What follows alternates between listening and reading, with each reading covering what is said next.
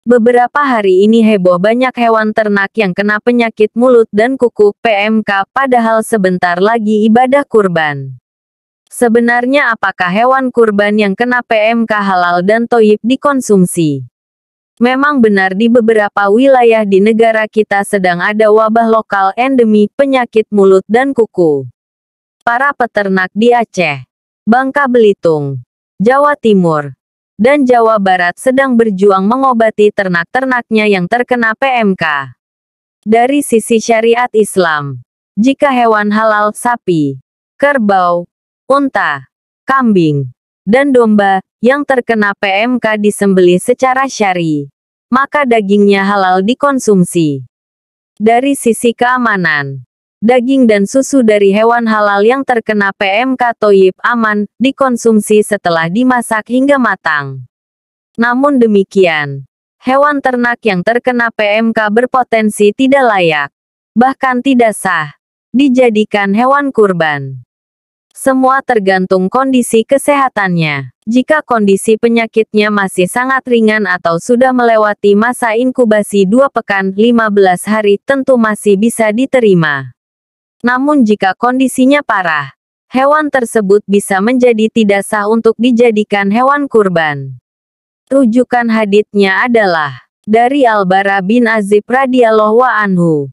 Rasulullah bersabda, ada empat macam hewan yang tidak sah dijadikan hewan kurban, yaitu yang matanya jelas-jelas buta picek, yang fisiknya jelas-jelas dalam keadaan sakit, yang kakinya jelas-jelas pincang, dan yang badannya kurus lagi tak berdaging. Hadis riwayat At-Tirmidzi nomor 1417 dan Abu Daud nomor 2420.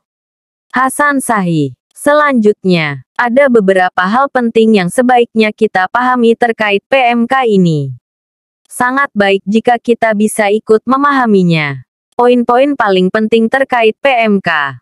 1. Penyakit mulut dan kuku PMK disebabkan oleh virus tipe A, masuk family Picornaviridae dari genus Aptovirus, yaitu Aptae epizooticae, yang sangat virulen, menular, namun kurang mematikan. Angka kematian tercatat hanya 1-5 persen. PMK dahulu pernah jadi endemi di Indonesia di kisaran tahun 1887 di daerah Malang. Jawa Timur. 2. PMK menular dari ternak ke ternak dengan masa inkubasi 2-15 hari. Maka, jika di satu kandang ada ternak yang kena, maka ternak-ternak yang lain di sekitarnya berpotensi tertular. 3. PMK menyerang hewan ternak berkuku belah, seperti sapi, kerbau, kambing, domba, unta, rusa, babi, dan lain-lain. Di alam liar, virus PMK bisa menyerang bison, rusa liar, antelope, lama. 4. Ciri-ciri hewan ternak yang terkena PMK di antaranya nafsu makan hilang, tubuh lemah, kurang agresif, demam suhu tubuh naik bisa sampai 41 derajat Celcius, banyak mengeluarkan air ludah over salivation, lesi, luka pada bagian mulut, gusi, di sekitar gigi, dan kulit di atas kuku. Produksi susu drop. 5. Penyakit PMK ini bukan penyakit zoonosis. Artinya, penyakit ini hanya menular ke ternak dan tidak menular ke manusia.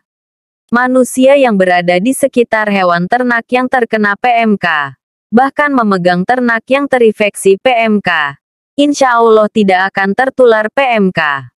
6. Manusia bisa tidak sengaja menularkan PMK dari ternak satu ke ternak lain lewat percikan air ludah, droplet, leleran lendir hidung, serpihan kulit, del, yang menempel di tangan, pakaian, atau alat yang dipakai oleh manusia. 7. PMK disebabkan oleh virus dan virus itu denaturasi, rusak pada suhu sekitar 70 derajat Celcius. Maka produk peternakan, daging dan susu, yang sudah dimasak hingga matang, insya Allah aman dikonsumsi. 8. Untuk mencegah penyebaran PMK lebih lanjut, pemerintah saat ini hendaknya sangat membatasi mobilisasi ternak antar daerah, apalagi dari daerah dengan endemi PMK. Transportasi ternak keluar dari daerah endemi PMK hendaknya wajib disertai surat pengantar resmi SKKH, surat keterangan sehat hewan, dari Dinas Peternakan. Demikian. Semoga bermanfaat. Allahu a'lam bishawab. Terima kasih atas perhatiannya.